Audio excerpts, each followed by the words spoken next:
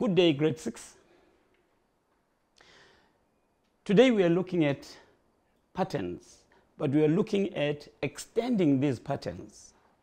If you look at what I've, I've drawn on the board, you realize that I have squares that are drawn up here, and then I've written pattern number. Pattern number one has got a square, pattern number two has got squares, pattern number three has got squares, and I left pattern number four. I want us to look at what is happening here. If you look at pattern number one, you'll see that there is one square. When you get to pattern number two, there are two squares down and two squares up. When you get to pattern number three, there are three squares at the bottom and three squares going up. I can therefore draw my pattern number four based on what I see coming out. There should be four patterns at the bottom and they must go four steps up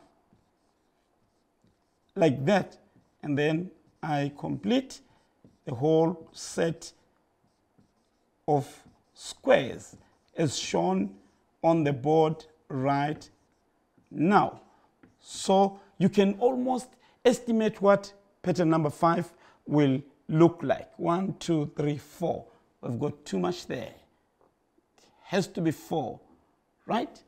One, two, three, four. One, two, three, four. One, two, three. One, two, three. One, two, one, two, one.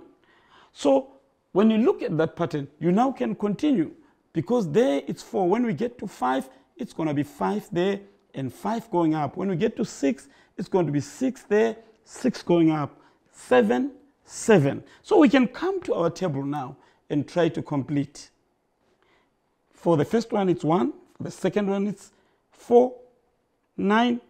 You can complete now the other spaces. Remember, you count the squares and complete the table. More activities are set for you in your workbook. You can continue to complete the table. Thank you.